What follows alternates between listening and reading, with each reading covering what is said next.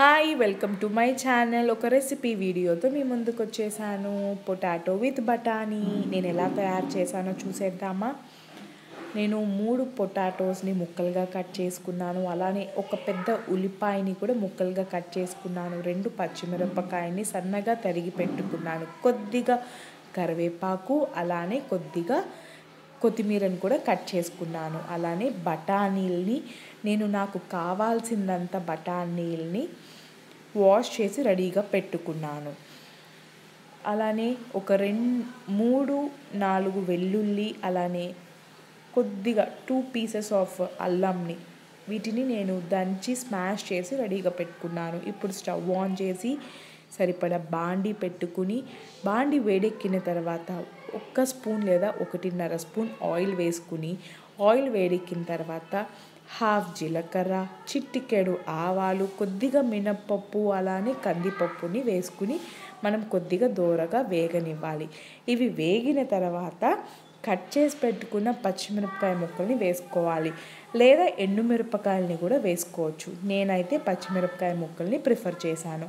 ఈ రెసిపీ ఎప్పుడైనా అనుకోకుండా ఎవరైనా చుట్టాలు వచ్చినప్పుడు కొద్దిగా క్వాంటిటీ అనేది ఎక్కువగా చేయాలి అన్న టైంలో ఈ రెసిపీ అనేది చాలా యూస్ఫుల్. ఎందుకంటే పొటాటో విత్ బఠానీ అనేటప్పుడు కర్రీ అనేది మనకి ఎక్కువ క్వాంటిటీగా కనిపిస్తుంది. సో సరిపడా మనము ఎప్పుడైనా హడావిడిగా ఏం కర్రీ చేయాలి అన్నప్పుడు ఇలా మనము ఈ రెసిపీ ప్రిపేర్ చేయటం వల్ల కొద్దిగా క్వాంటిటీ అనేది ఎక్కువగా ఉంటుంది ఈజీగా కూడా అయిపోతుంది. ఇప్పుడు పచ్చిమిరపకాయ ముక్కలు వేసిన తర్వాత కట్ చేసి పెట్టుకున్న ఉల్లిపాయ ముక్కల్ని కూడా మనము వేసేసి కొద్దిగా వేగనివ్వాలి.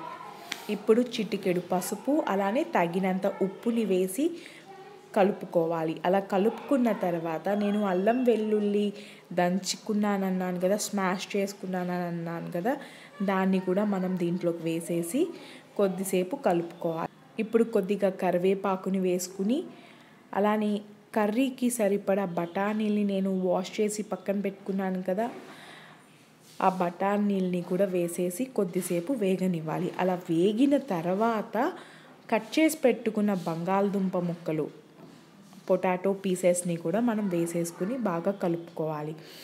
బఠానీలు వేయటం వల్ల కర్రీ అనేది క్వాంటిటీ ఎక్కువగా అనిపిస్తుంది. ఎప్పుడైనా అన్ఎక్స్పెక్టెడ్గా చుట్టాలు వచ్చినప్పుడు లేదా మనం ఏదైనా బయటికి వెళ్ళాలి ఎక్కడికైనా వెళ్ళాలి అన్నప్పుడు లంచ్ కానీ బాక్స్లో తీసుకెళ్ళాలి. సో మనతో పాటు ఒక మనతో పాటు మెంబర్స్ ఎక్కువగా ఉన్నప్పుడు ఇలాంటి రెసిపీ మనము ప్రిఫర్ చేసాము అంటే క్వాంటిటీ అనేది కొద్దిగా ఎక్కువగా అనిపిస్తుంది సరిపోతుంది. అలానే ఈజీగా కూడా అయిపోతుంది. బఠానీనే కాదు బఠానీ ప్లేస్లో కొబ్బరి కూడా వేసుకోవచ్చు. అది కూడా మనకి కర్రీ క్వాంటిటీ అనేది ఎక్కువగా అనిపిస్తుంది. ఇప్పుడు పొటాటో ముక్కలు అంతా వేసేసుకున్న తర్వాత బాగా కలుపుకోవాలి. కలుపుకున్న తర్వాత కొద్దిసేపు మనము ఒక మూతతో బాండీని క్లోజ్ చేసి ఒక ఫైవ్ మినిట్స్ పాటు మనము స్టవ్ని సిమ్లో పెట్టుకోవాలి. ఆ ఆవిరికి పొటాటో ముక్కలు అలానే బఠానీ అనేది బాగా బాయిల్ అయిపోతాయి. అలా మొత్తం కలుపుకుని మూత పెట్టేసిన తర్వాత సిమ్లో పెట్టేసుకుంటే చాలు. చాలా త్వరగా కర్రీ అనేది ఈజీగా కూడా అయిపోతుంది. అలానే కొద్దిగా పుదీనాని నేను యాడ్ చేశాను. నేను ఆల్మోస్ట్ చాలా వాటిల్లో నేను పుదీనాని ఎక్కువగా ప్రిఫర్ చేస్తాను.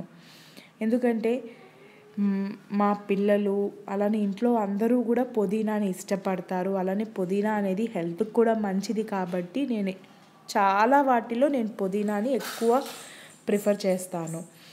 సో ఇప్పుడు ఒక ఫైవ్ మినిట్స్ మనము సిమ్లో పెట్టి మూత క్లోజ్ చేసిన తర్వాత మళ్ళీ ఒకసారి ఓపెన్ చేసి ఒక్కసారి ఉప్పు అలానే స్పా కారము అన్నీ ఒకసారి చెక్ చేసుకుని ఉప్పు తక్కువగా అనిపిస్తే కొద్దిగా ఉప్పు యాడ్ చేసుకోవటము. లాస్ట్లో నేను ధనియాల పొడి ఒక హాఫ్ స్పూన్ ధనియాల పొడి అలానే కొద్దిగా కారాన్ని యాడ్ చేశాను. అలా ఎందుకంటే కొద్దిగా మనకి టేస్ట్ అనేది కూడా బాగుంటుంది.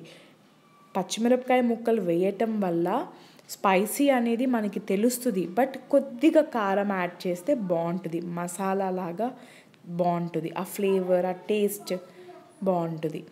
అలా వేసిన తర్వాత మళ్ళీ ఒక టూ మినిట్స్ పాటు మళ్ళీ మూతతో క్లోజ్ చేసి కొద్ది టూ మినిట్స్ అలా ఉంచి మళ్ళీ మనం మూ మూతని ఓపెన్ చేసి ఒకసారి కలుపుకుని కొత్తిమీరని యాడ్ చేసి స్టవ్ ఆఫ్ చేసేసి ఒక బౌల్లోకి తీసేసుకుంటే ఒక గిన్నెలోకి కర్రీని తీసేసుకుంటే చాలు. బఠానీ అలానే పొటాటో కర్రీ రెడీ. చూసారా? పొటాటో ముక్కలు బాగా ఉడికిపోయాయి. ఒకవేళ ఈ కర్రీ మనకి బ్యాలెన్స్ ఉందనుకోండి దీన్ని మనము చపాతీ చేసేటప్పుడు బాగా స్మాష్ చేసేసి కర్రీని మధ్యలో స్టఫ్ చేసి చపాతీ రుద్దాము అంటే ఆలు పరోటా లాగా కూడా మనం చేసేసుకోవచ్చు. సో ఈ రెసిపీ మీ అందరికీ నచ్చినట్టయితే లైక్ చేయండి షేర్ చేయండి సబ్స్క్రైబ్ చేయండి. మన ఛానల్ ఎవరైనా కొత్తగా చూసే వాళ్ళైతే ఛానల్ని మర్చిపోకుండా సబ్స్క్రైబ్ చేసుకోండి. కీప్ వాచింగ్ అమ్మమ్మ గారి మనవరాలు. Thank you.